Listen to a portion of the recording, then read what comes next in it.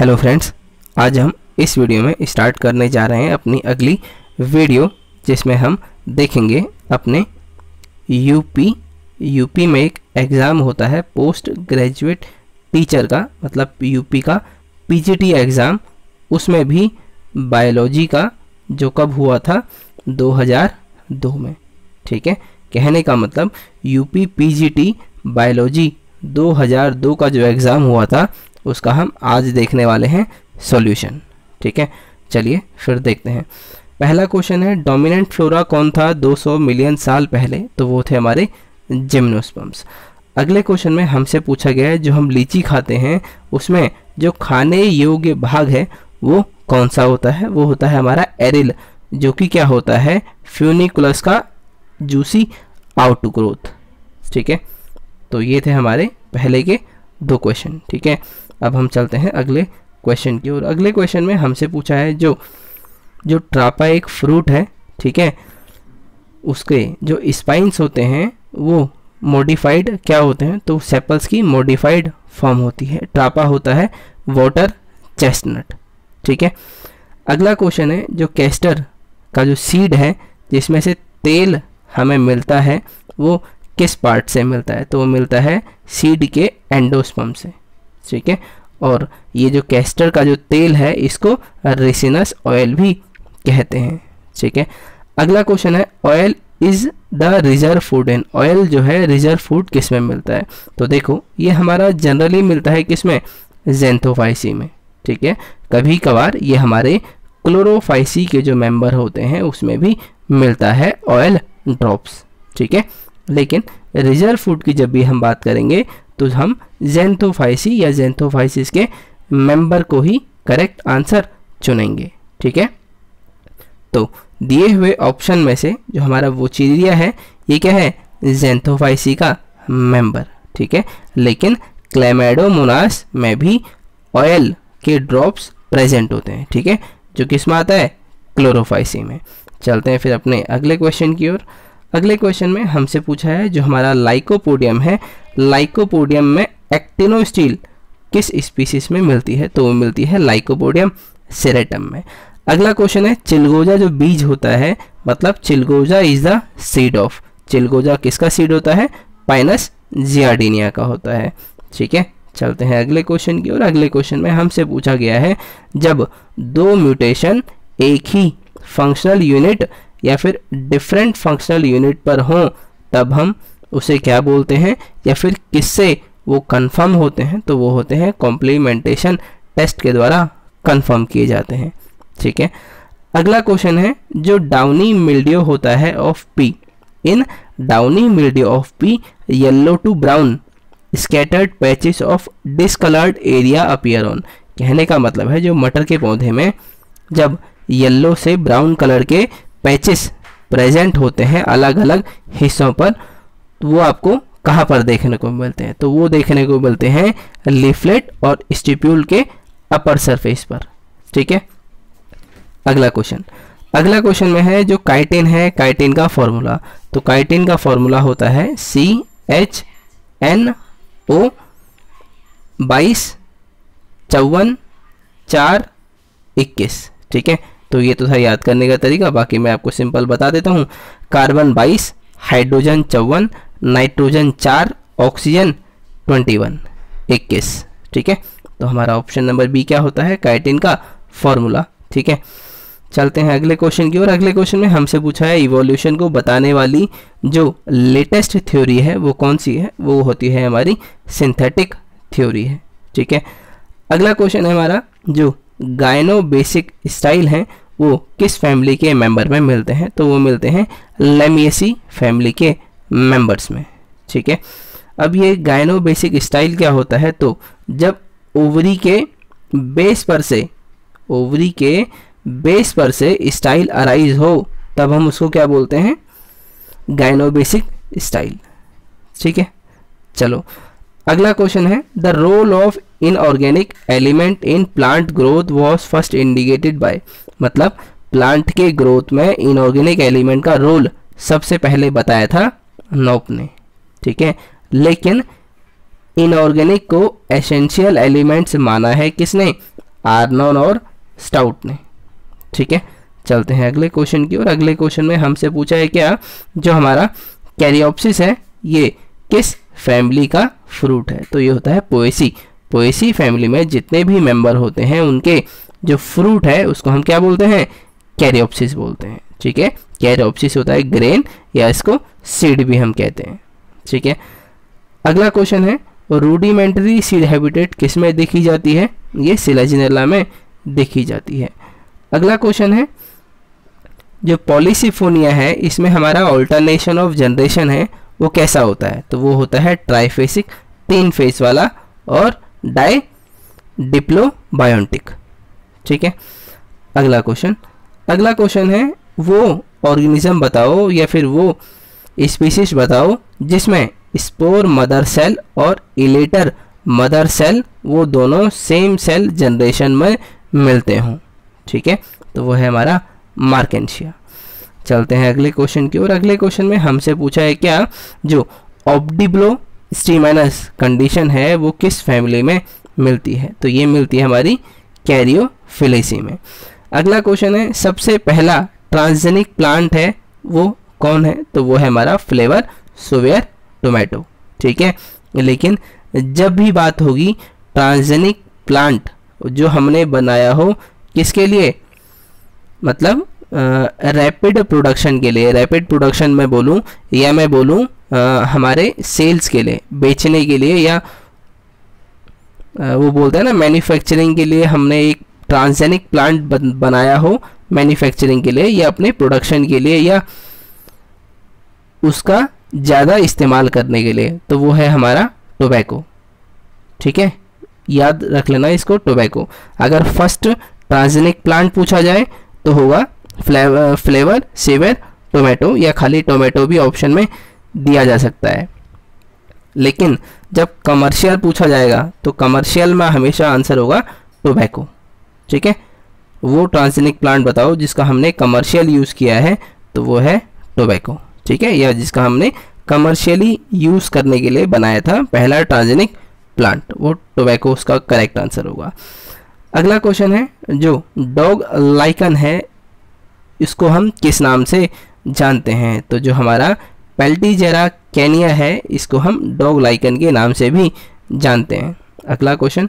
अगले क्वेश्चन में हमसे पूछा है, जो हमारा गोल्गी कॉम्प्लेक्स है, वो किस काम में इन्वॉल्व होता है? तो ये क्या होता है? सीक्रेटरी प्रोसेस में इन्वॉल्व होता है गोल्गी कॉम्प्लेक्स। अगला है पेरियंटल या पेराइटल प्लेसेंटेशन किसमें देखने को मिलती है? ये मिलती है मस्टर्ड में, सरसों में और आर्जीमोन में। ठीक है? पेराइटल प्लेसेंटेशन पेराइटल प्लेसेंटेशन कैसी होती है?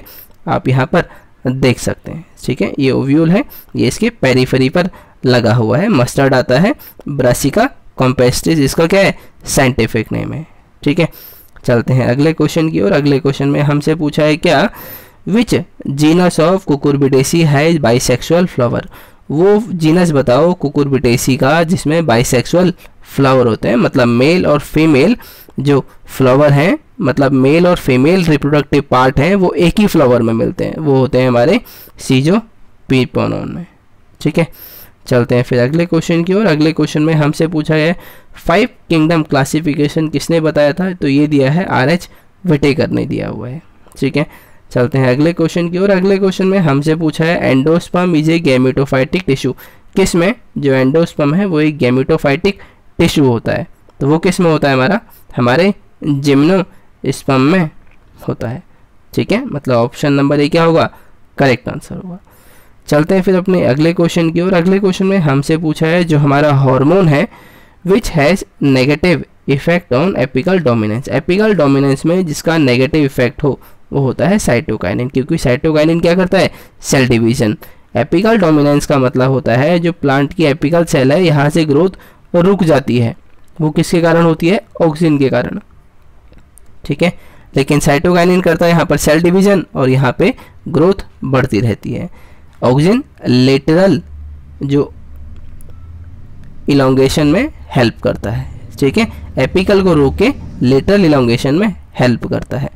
चलते हैं अगले क्वेश्चन की और अगले क्वेश्चन में हमसे पूछा गया है heterostyly is a contrivance for cross pollination in कहने का मतलब है हेट्रोस्टाइली किसमें देखने को मिलती है? वो मिलती है प्राइमूला में ऑक्जेलिस में और फ्लैक्स में। ठीक है? अगला क्वेश्चन है the perianth in Gramineae is generally represented जो ग्रेमिनी में पेरियंथ है, वो किसको दर्शाता है? तो वो दर्शाता है लोडिक्यूल को, जो दो से तीन नंबर्स में प्रेजेंट हो सकते हैं। ठीक है? चलते हैं अगले क्वेश्चन की और अगले क्वेश्चन में हमसे पूछा है क्या? जो chromatids joined together by a duplicated but unseparated centromere इसे हम क्या बोलते हैं? कहने का मतलब है क्रोमेटेड डुप्लीकेट हो गए, वो ज्वाइन भी हैं, लेकिन सेपरेट उनका सेंट्रोमियर जो है सेपरेट नहीं हुआ है, वो कैसे हैं? अनसेपरेटेड सेंट्रोमियर तो इस कंडीशन को हम क्या बोलते हैं? सिस्टर क्रोमेटेड ठीक है?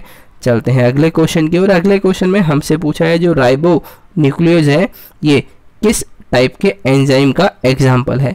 तो ये लाइस का एग्ज़ाम्पल है, ठीक है? चलते हैं फिर अपने अगले क्वेश्चन की ओर। अगले क्वेश्चन में हमसे क्या पूछा गया है? वॉचिरेरिया कोसिस वॉचिरेरिया क्या करता है? तो वॉचिरेरिया करता है हमारा एलिफेंटाइसिस ठीक है?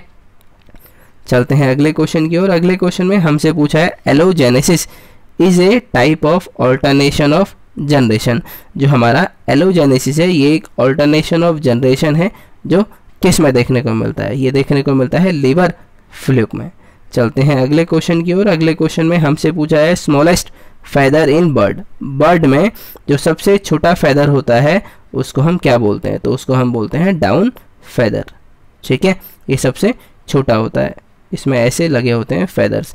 बाकी जो फ्लोप्लूम है, ये एक फाइन होता है, लॉन्ग होता है।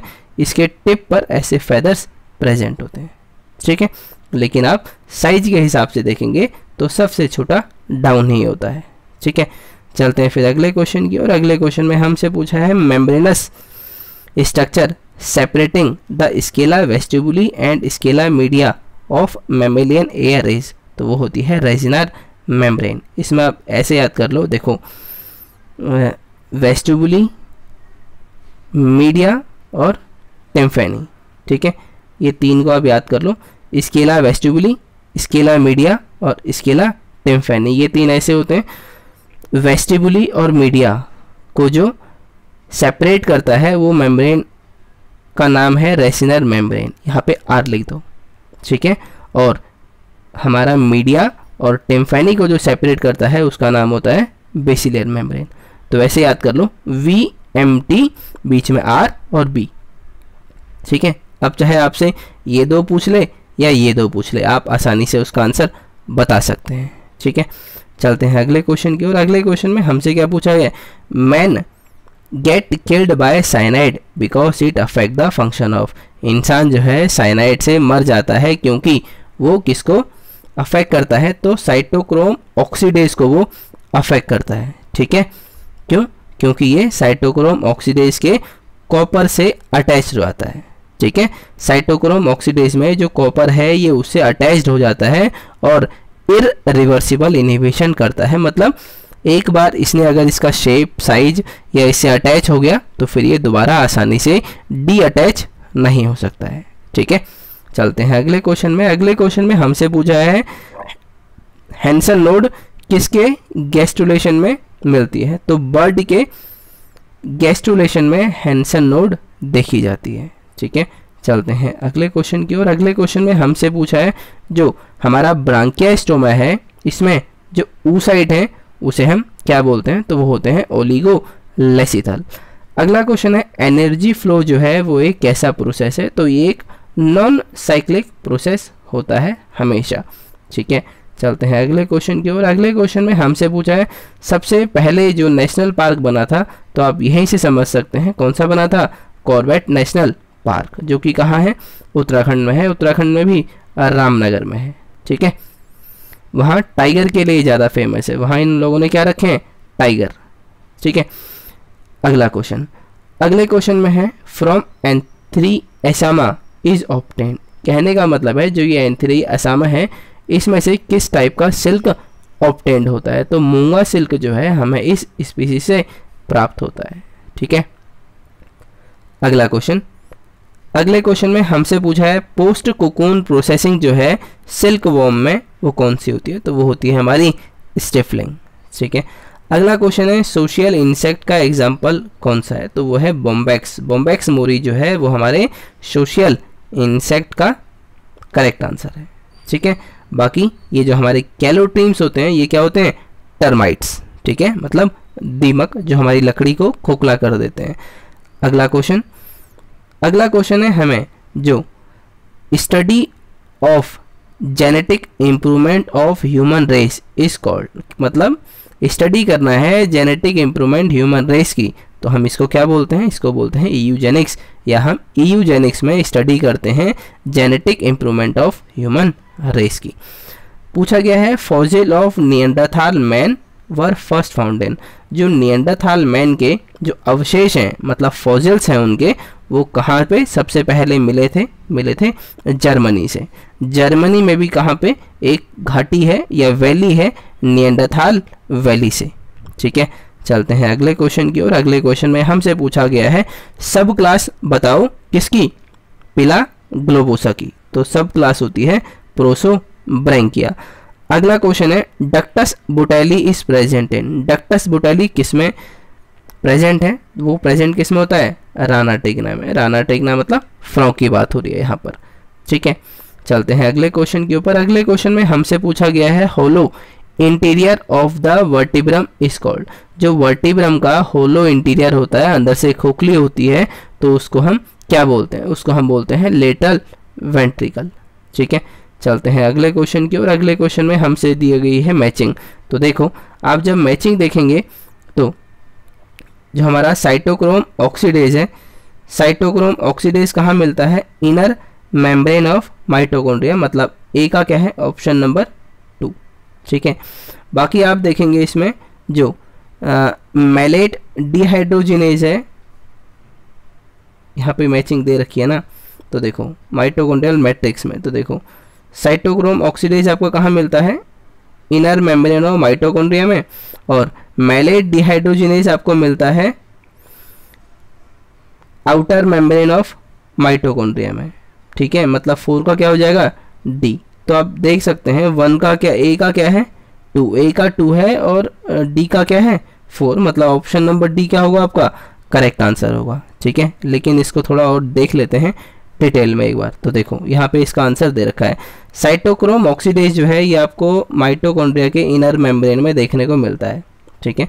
फैटी एसिड को एलिगेज ये देखने को मिलता है आउटर मेम्ब्रेन माइटोकॉन्ड्रिया की, और जो एडिनाइलेट काइनेज है, ये देखने को मिलता है मेम, आउटर मेम्ब्रेन ऑफ़ माइटोकॉन्ड्रिया, और मेलेट डिहाइड्रोजिनेज है, ये देखने को मिलेगा माइटोकॉन्ड्रिया के मैट्रिक्स में।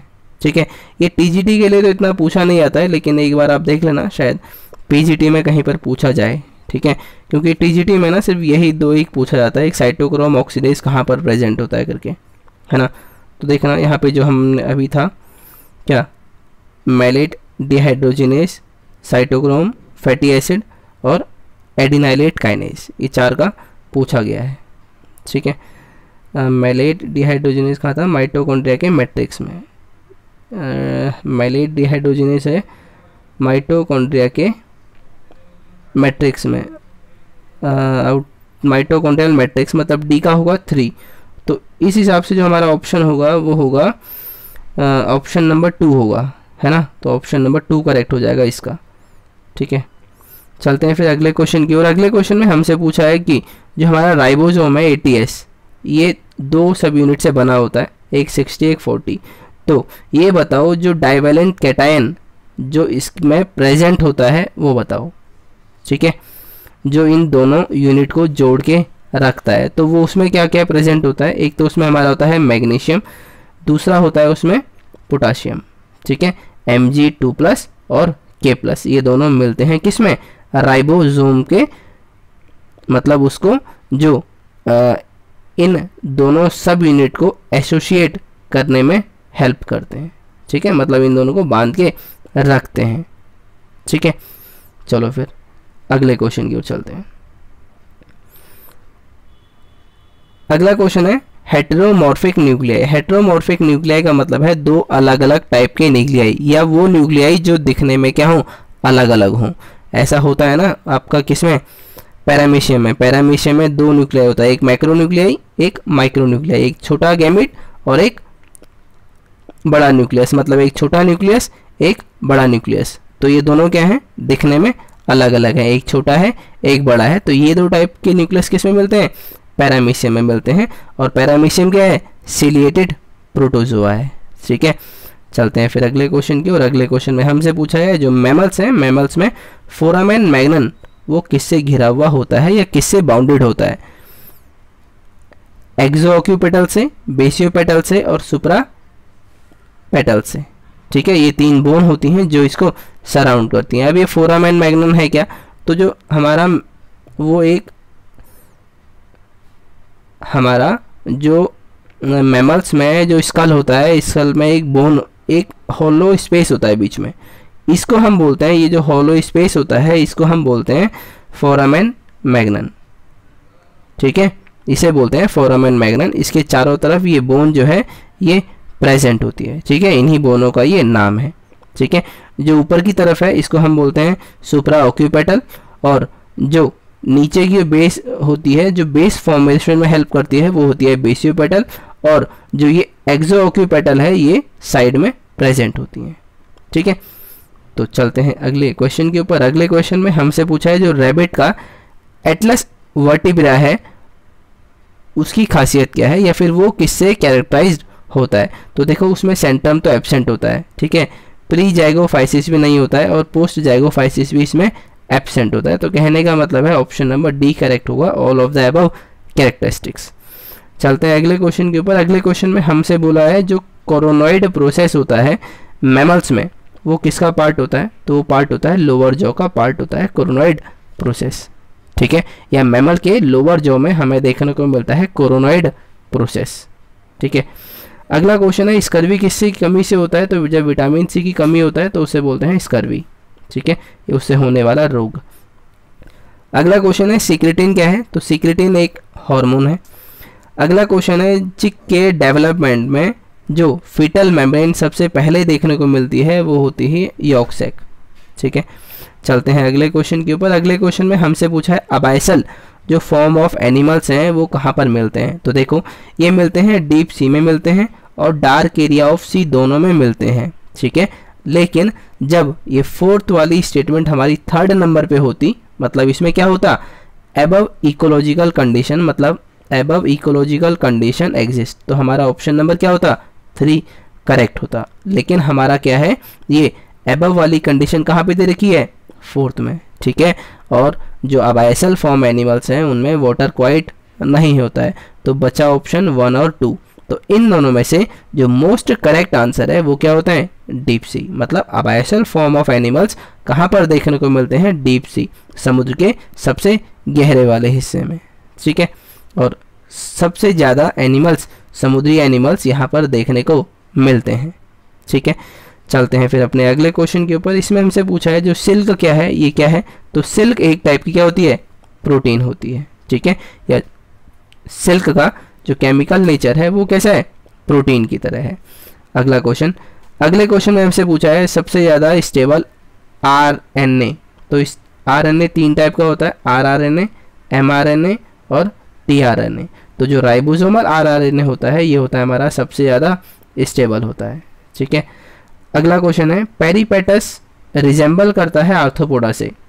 कहने का मतलब है आर्थोपोडा की ऐसी कौन सी प्रॉपर्टी या कौन सी कैरेक्टरिस्टिक पेरीपेटस में देखी जाती है। तो वो है डोर्सल ऑसिलेटेड हार्ट ठीक है? अगला क्वेश्चन अगले क्वेश्चन में हमसे पूछा है क्या?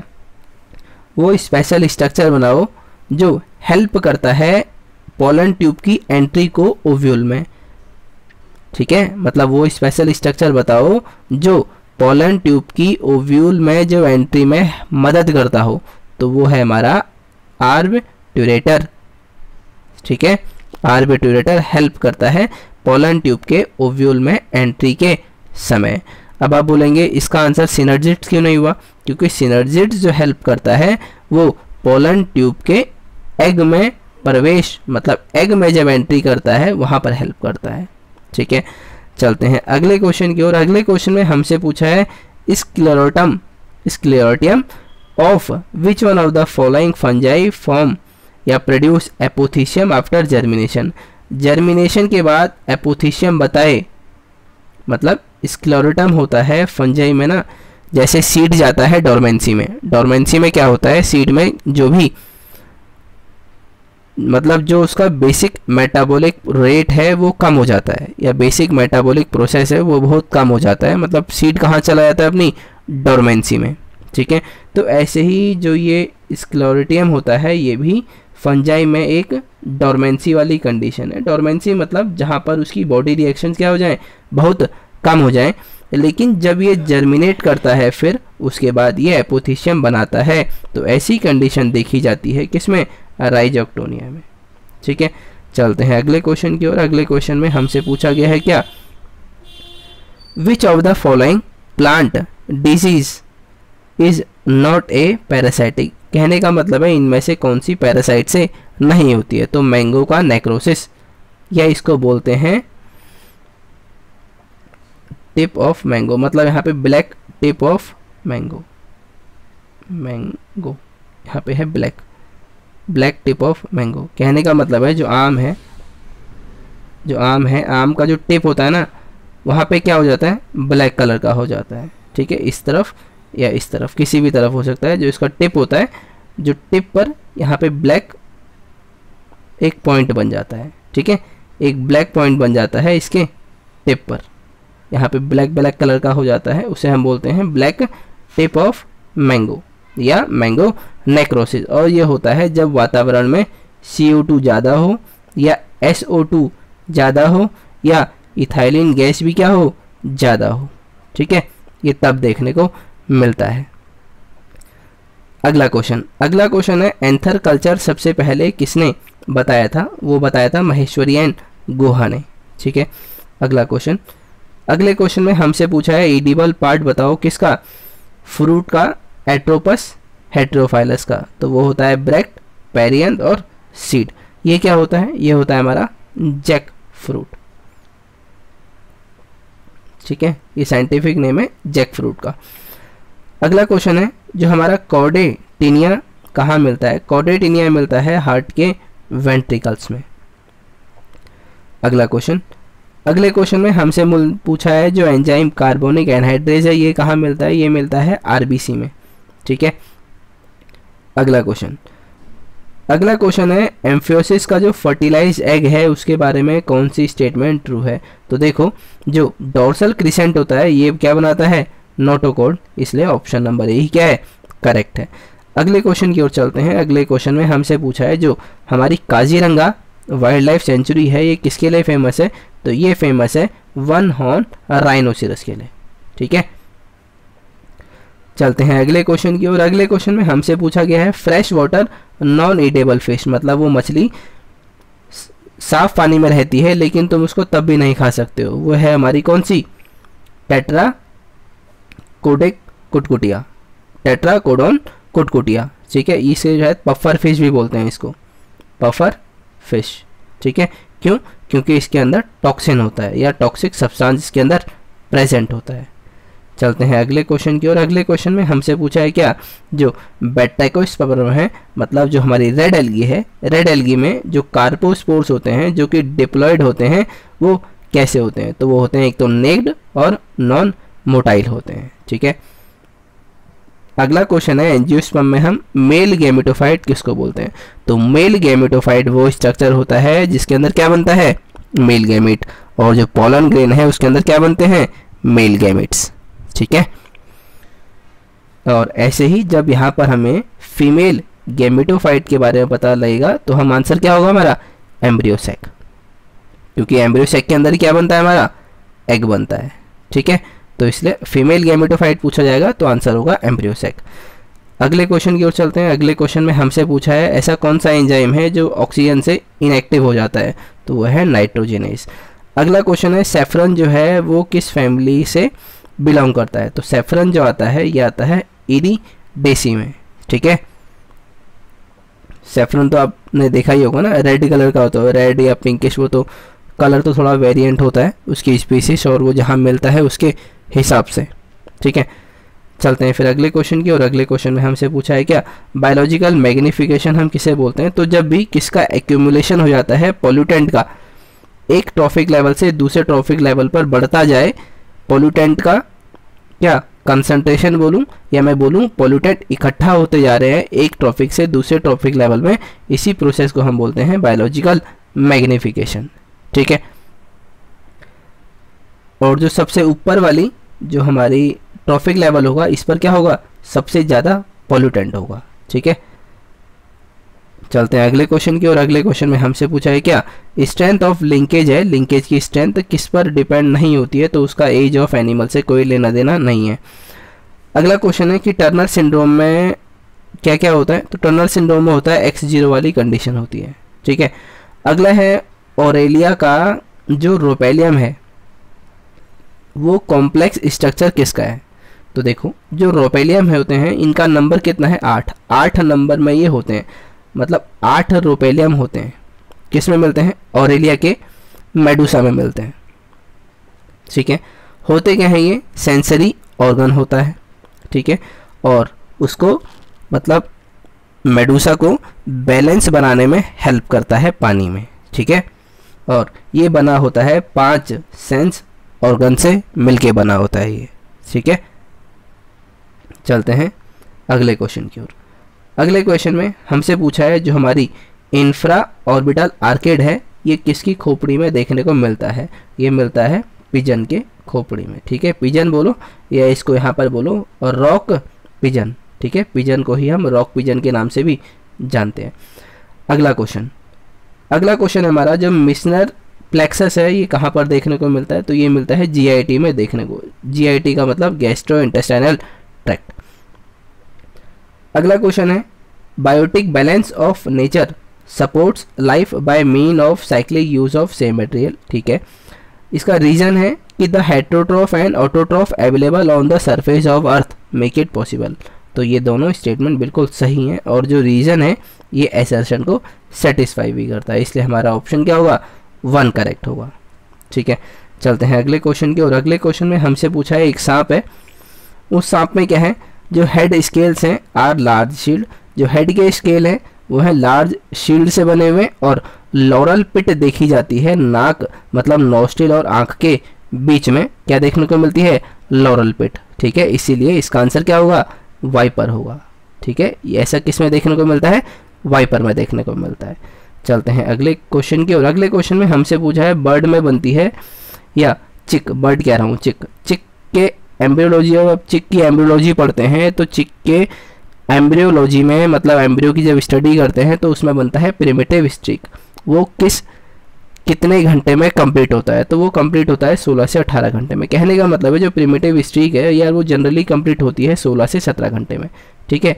16 से 17 घंटे में प्रिमेटिव स्ट्रीक का कंप्लीट हो जाता है बनना।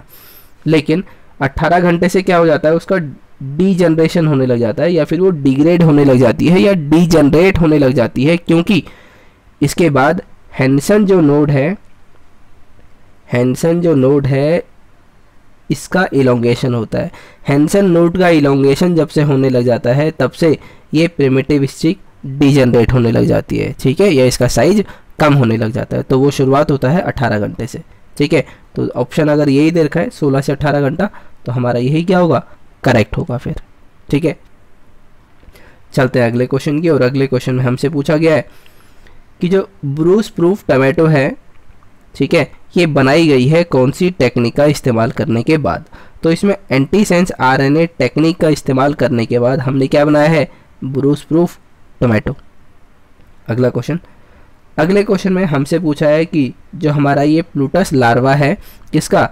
इकाइनोडर्मेटा का। इसकी कैरेक्टरिस्टिक्स क्या क्या है?